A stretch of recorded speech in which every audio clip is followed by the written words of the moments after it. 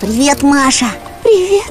А что случилось? Меня мучает жажда. Так не проблема. Я привезу тебе воды. Меня мучает жажда знаний. Никогда о таком не слышал. Конечно, не слышал. А как утолить эту жажду? Мне нужны новые книги. Читать не вредно. Подкаст о книжных новинках и редких изданиях библиотек Псковской области. Здравствуйте, уважаемые радиослушатели! У микрофона я, Ирина Медведкина, и в эфире программа «Читать не вредно».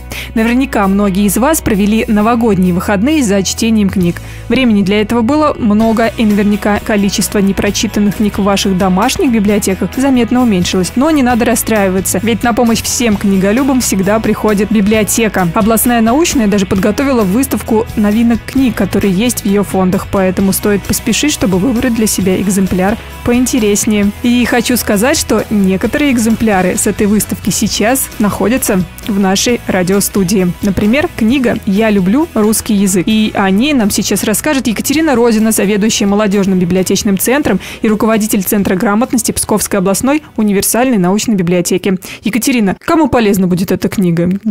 О чем она рассказывает? Неужели э, там описано более 400 правил русского языка? Добрый день. Да, безусловно, в этой книге книге огромное количество правил, и, на мой взгляд, она будет интересна как школьникам, так и взрослым людям, которые хотят освежить в памяти эти правила. И здесь где-то даже в самой книге упоминается, что она лучше всего подойдет для двух типов. Либо для тех, кого бесят неправильное употребление русских слов, либо для тех, кто, наоборот, увлечен русским языком и любит, чтобы все писалось правильно.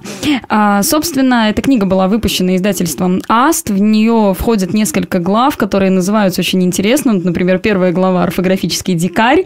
Как эволюционировать в правописании и захватить власть над ошибками».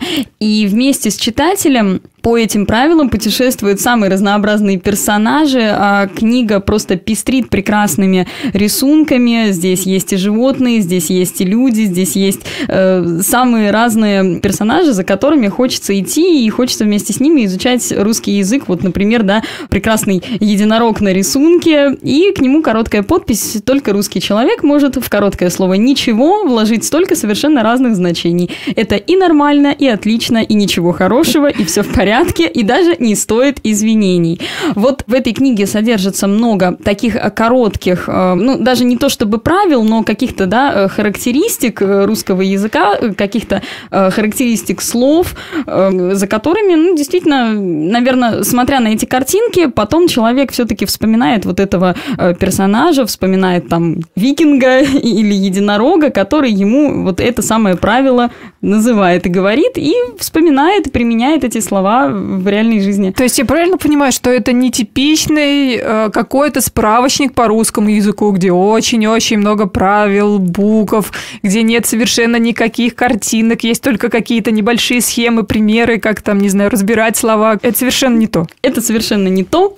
Э, что в ней? В ней понятные красочные схемы, в ней какие-то ироничные примеры из реальной жизни, вот, да, как пример со словом «ничего», и различные занимательные факты, о русском языке все, что мы можем встретить, вот кофе на вынос и, и многие другие правила, с которыми мы сталкиваемся в повседневной жизни. То есть с этой книгой изучать русский язык интересно, а не скучно. Да, да, очень интересно. И в одной из социальных сетей существует, собственно, сообщество, которое так и называется, да, «Я люблю русский язык». И вот эта книга была придумана и фактически написана вот администраторами данного сообщества. То есть это то, что пришло из социальных сетей, то, что и так читают и взрослые, и дети, и просто теперь оно приобрело вот такой бумажный формат для любителей, скажем так, больше бумажных книг, чем электронных. И эта книга действительно тоже представлена на выставке «Лучшие книги 2021 года». Можно прийти, ознакомиться с ней и взять ее себе, провести с ней незабываемые дни и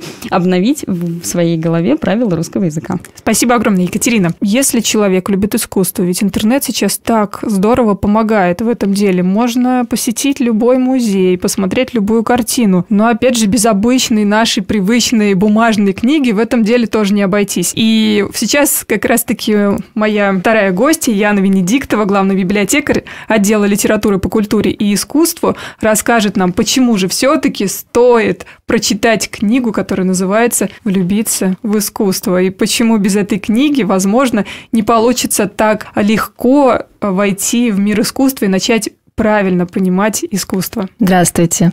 Очень э, рада сегодняшней нашей встречи. И вот у нас действительно разговор опять о любви пошел, о любви к русскому языку, а теперь о влюбленности пока еще только в искусство, потому что книга, о которой я сегодня хочу рассказать, она не о безусловной любви к искусству, она о первых таких попытках расположить у себя в голове, систематизировать знания по а, живописи русской и зарубежной. И примечательно, что эта книга, она тоже стала как раз-таки бумажным а, вариантом, бумажной версией интернет-сообщества. А, автор этой книги «Влюбиться в искусство» Анастасия Постригай, а, русский искусствовед. Она окончила Российский государственный гуманитарный университет в 2004 году по специальности искусствоведения.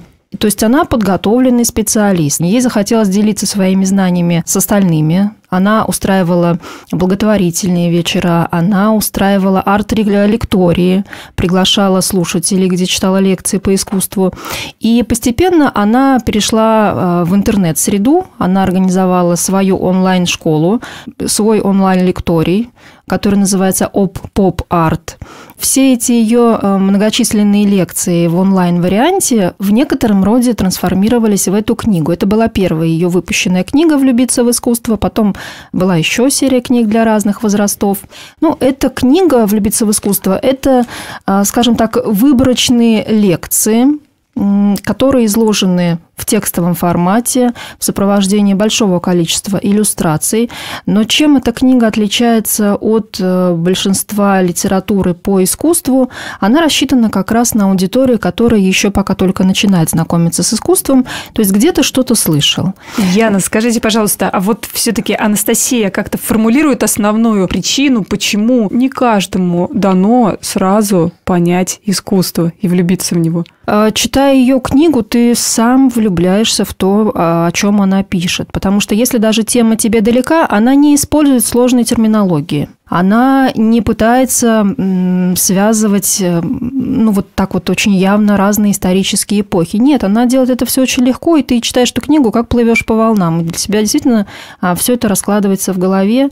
И хорошо бы, конечно, после этой книги потом еще обратиться ко всем произведениям, которые она упоминает э, в своей книге, потому что, конечно, иллюстраций здесь недостаточно. Эта книга не может вместить всех иллюстраций, которых она вот э, упоминает.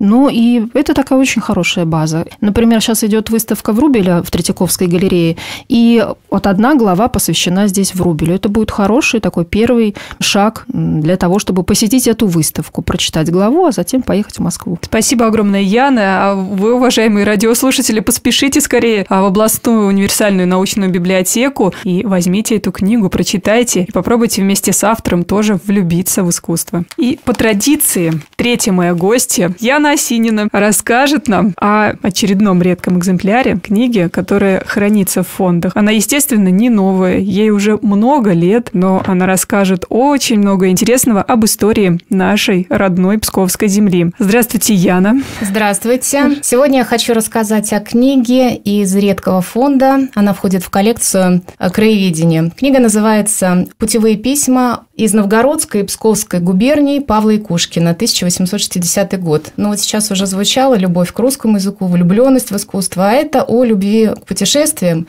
Если предыдущие книги э, ну, появились в соцсетях, скажем так, и потом приняли именно книжный облик, то это, как это, будет наоборот. Все началось с записей в дневниках, э, путевые письма, заметки, которые изданы были позднее книгой отдельной – и вот в современном мире эти заметки могли бы запросто читаться как обычный travel блог Вот о таком человеке, о такой книге, об одном из первых очерков писателя и этнографа, фольклориста, имя которого сегодня никому не известно, а когда-то оно было известно всей читающей России. Э, Павел Иванович Якушкин, вот такой вот первопроходец, который с глазу на глаз встречался с народом. Явление для второй половины XIX века невиданное, неслыханное, это дикость, дикостью считалось, очень дерзкий поступок. Но он вот так вот такие выходы в народ позволили ему стать защитником народа, настоящим знатоком русской народной жизни. Ну вот результатом одного путешествия, которое он совершил э, в конце 50-х годов 19 века в северный край нашей страны, к которому тогда относилась Новгородская и Псковская губерния, стали его Путевые письма, на, везде, где путешествовал, он писал вот такой, вел такой дневник, который позднее публиковался. И э, его стали обсуждать, его стали читать, и он стал очень, ну, как бы мы сейчас сказали, медийной личностью. Что касается самой книги. Сама книга, вот у нас хранится один экземпляр э, этого издания, тираж был очень большой, переиздавался, э, пользовался популярностью. И сама книга «Путешественница». Об этом можно судить по э, штемпелям на титульном листе и на страницах книги. Когда-то книга являлась единицей Якутской национальной библиотеки. Как, когда она оказалась в Пскове, можно только догадываться. О чем же эта книга? Ну, из названия понятно, да? А, человек под видом Афини, мелкий торговец, в крестьянской одежде, но при этом в очках, потому что Якушкин, у него была близорукость, угу. и он сам происходил из древнего дворянского рода. С коробом за плечами, а, обходил губернии, уезды и собирал а, фольклор. То есть ему важно было влиться в народ, да, чтобы да. его не считали чужим, а приняли за своего. Он сам считал себя именно таким своим. Угу. И он сразу как-то очень легко находил язык со всеми, кто встречался ему по пути. И общался с ними на одном языке. Вот самый первый первой странице книги ты невольно становишься его попутчиком. И вступаешь в беседы с теми людьми, с крестьянами, рыбаками, а, ну, со всеми-со всеми людьми. Принимаешь участие в посидках или посиделках, как бы мы сейчас сказали, крестьянских. Поешь песни, водишь хороводы, играешь э, с печорскими мальчишками в прятки. Вот это вот все описание его вот этих путешествий, разговоров, бесед в мельчайших подробностях сохранения вот этой вот специфической псковской, новгородской речи, диалектов. Он все это передал, описал без приукрас, все как есть. То есть это все вот то, как реально жили да. наши предки. Да? Как жили, как говорили, без приукрас. И это все в сопровождении богатого фольклорного материала. То есть, по сути, да, он первый фольклорист-собиратель. Все, кто интересуется историей и культурой, филологи, да, да, кстати, много диалектных очень выражений, что такое сито что такое троста, ну, как мы лесу называли псковичи, как зайца называли. То есть вот это все есть в этой книге. Спасибо огромное, Яна. Еще раз хочу выразить огромную благодарность вам, мои уважаемые гости. Яна Осинина, главный специалист регионального центра по работе с редкими и ценными документами. Яна Венедиктова, главный библиотекарь отдела литературы по культуре и искусству. И Екатерина Родина, заведующая молодежным библиотечным центром и руководитель Центра грамотности Псковской областной универсальной научной библиотеки. Я жду вас снова к нам в гости с рассказом о новых интересных книгах и о редких интересных книгах из э, фондов библиотеки. А вам, уважаемые радиослушатели, в очередной раз хочу сказать, читайте с удовольствием. С вами была Ирина Медведкина. До встречи на волнах Радио России Псков.